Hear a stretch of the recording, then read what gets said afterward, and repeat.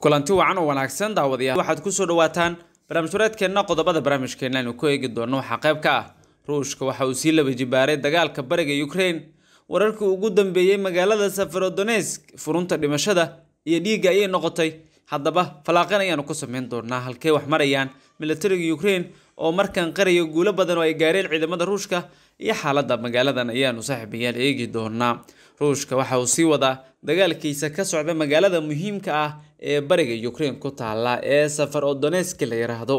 Ruushka waxa uu sheegay in ciidamadooda ay qabsadeen tuulo ku dhow magaalada warshada ukraine ee safar odonesk taas oo bartilmaameedka koowaad ka ahayd ololaha moscow ee lagu xakameynaya bariga dalkaas oo dhan. Wasaaradda difaaca ee wadankan ruushka la yiraahdo waxay sheegtay axaddii inay ku guuleysatay in magaalada la yiraahdo mataylkon ay qabsato oo ah goob ay ku noolaayeen in ka yar kun qofood. Ka hor inta uusan dagaalku bilaaban wakaalada wararka reuters taas ayaa u warantay ama ku warantay in dagaalyahano badan oo ukraine ah ay halkaasi ciidamada isku dhiibeen oo gacanta lagu dhigay waxaana sabab u ah in magaaladu ay godoomiyeen ciidamada ruushka iyo wakaaladu leedahay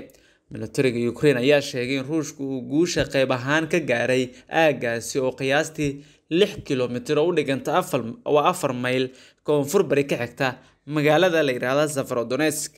kadib markii ku guuldaraysteen inay la wareegaan caasimadda kiev horaantii dagaalka ciidamada ruushka ayaa diiradda saaray sidii ay isugu dayi lahaayeen in ay si buuxda ula wareegaan magaaladan istaraatiijiga ah oo ay si toosa gacantooda u maamulaan waxaase ay isku dayeen sidii ciidamada halkaasi ukraine looga saari lahaa. Gobolada waa lohaneska iyo sidoo kale donesk oo dombas la isku yiraahdo ee bariga ukraine ayaa wajahaya markan dagaalkii ugu cuslaa tan iyo markii duulaanku uu bilowday. Qaybo ka mid a dombas waxay hore u haysteen gonugosadka ruushku taageerayay ka hor duulaankii afar iyo labaatanka februaayo kuwaas oo maamulayay in ka badan toddoba sano waxaana u suura gashay in dhulkan iyagu ay maamulaan. Moscow waxa ay sheegtay weerarkeedii ugu dambeeyey ay ku dooneysay inay ku guuleysato magaalada safarodoniska lafteedu si guul ah uu u socdo balse aysan gaarin meeshii ay rabtay. Taas ayaana markhaati ka ah in awoodda ruushku ay liidato marka loo eego horumarada ay sameynayaan barasaabka gobolka lohaneska ayaa u sheegay tv-ga ukraine in dagaalku uu ka dhigay mid laga daadgurayo dadka magaalada balse sheegashooyinka ruushka inay magaaladu maamulayaan ayuu ku tilmaamay. Mid aanu sali raad toona lahayn. Kamid ahaanshaha bulshada ku xeeran safarodonesk waa halis weyn oo aynan qiyaasi karin dadku ayuu leeyahay barasaabka gobolka lohansk taasoo ka dhigan in xaalad khatara ay ka taagan tahay magaalada safarodonesk iyada oo saas ay tahay ayay dunidu iyo reer galbeedku isha ku hayaan. Waxa ka socda xaaladda ee ukraine waxaana boqortooyada ingiriiska ay sheegtay ruushka iyo ukraineba ay labadooduba duqeymo culculus ka geysteen magaalada iyada oo waxyar ay u bedeleen safafka hore ee agaga qiimeynta militariga u k ee sheegtay ee niyadda ee cutubyada dagaalka ee ukraine iyo ruushka ee dombos ayaa u badan bay leeyihiin in aysan tallaabooyin dheeraada qaadin. Waana suuragal in ay mar kale wiiqanto awoodooda oo ay niyadjabaan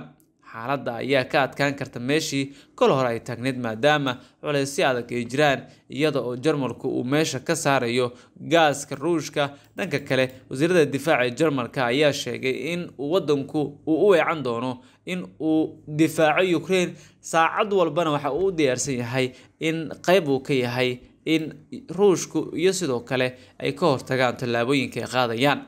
afayeenka criminalka dematro bascof ayaa sheegay in dhimista saadka iyo ku dhawaaqista reer galbeedka ee dagaalada ruushka aysan wax micnaa lahayn. Waxaana uu ku tilmaamay inay yihiin waxyaabihii kol hore ay uun reer galbeedku buubuunin jireen siduu hadalka u dhigay. Waana arrin kale oo uu ku tilmaamay inay tahay mid halis ku ah jiritaanka iyo sidoo kale heshiiska dunida ee reer galbeedka iyo ruushka marka dagaalku dhammaado dhanka kale isla baarliin waxay martigelinaysaa shirka ilaalinta cuntada adduunka. Jarmalka ayaa martigelin doona kulan ku saabsan cunayarida sii kordhaysa ee dunida ka taagan ee dagaalka ukraine uu sababay iyadoo xogayaha arrimaha dibadda ee mareykanka antony blinken uu ka mid yahay dadka ka qaybgelaya kulankaas. Afhayeen u hadla dowladda ayaa sidaasi warbaahinta u sheegay. Isku imaatinka xubnahan ee jimcahan soo aadan waxaa ciwaan looga dhigay umideynta sugnaanta cunnada dunida ama in la mideeyo cunnada adduunka ayay ka shirayaan waxaana loogu soo qabanqaabin doonaa in lagu yareeyo cunada soo ama cunayarida soo food saartay dunida oo ku saabsan colaada wadanka Ukraine. Ayuu afayeenku u sheegay waa shir jaraa'id oo uu ku qabtay magaalada Berlin ee caasimadda wadanka Jarmalka.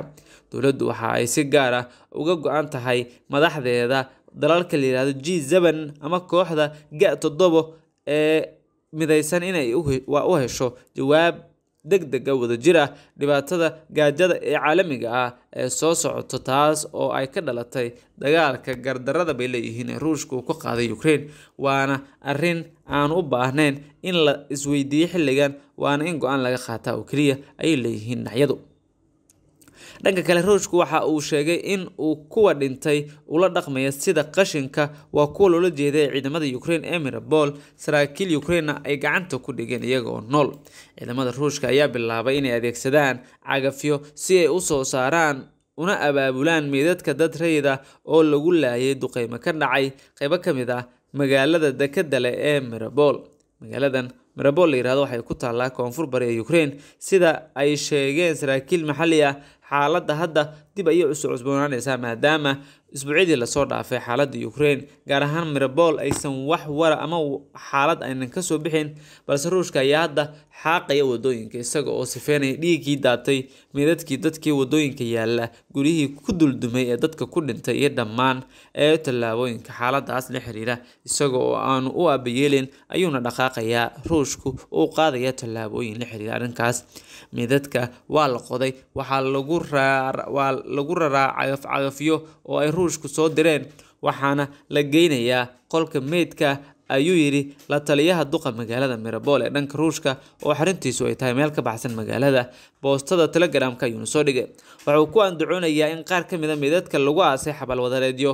In badan dadka dhintay loolama dhaqmo sidii qashinka oo kale ayuu yidhi. Afayeenka isaga oo aan ilaa iminka warkiisa si toosa loo waa loo xaqiijin karin. Waxaana la soo warinayaa in ay hadda ruushku sameynayaan qorshayaal halis ah oo ay ku doonayaan in mar kale ay ku soo nooleeyaan colaadda ka taagan magaalada koonfur bari ka xigta Ukraine ee Mariupol oo dekad weyn leh. Mariupol oo dhan waxaa gacanta ku haya ciidamada Ruushka waana magaaladii labaad oo ay gacanta ku dhigaan markii dagaaladu ay bilowdeen. Bishii hore dhammaadkeedii ayay si toos ah ula wareegeen kadib markii ay godoomiyeen ciidamadii iyo dadweynihii ku godoonsanaa magaalada ee Mariupol gaar ahaan dekedda iyo warshada birta ee Azovstal dhismaheeda. Ugu dambeynsa ciidamadii ku dhawaa labada kun ayaa isdhiibay oo ruushka gacantooda galay halka dadkii halkaa ku sugnaana ay daad gureeyeen. Qaramada midoobay iyo hay'adda laanqeyrta cas oo iskaashanaya ciidamada ruushka iyo Ukraine ay ka qayb qaateen.